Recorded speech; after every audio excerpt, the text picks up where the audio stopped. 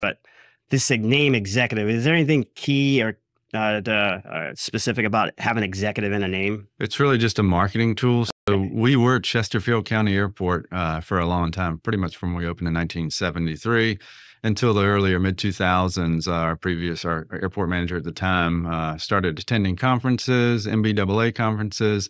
And one of the big questions uh, would be asked, where is Chesterfield County?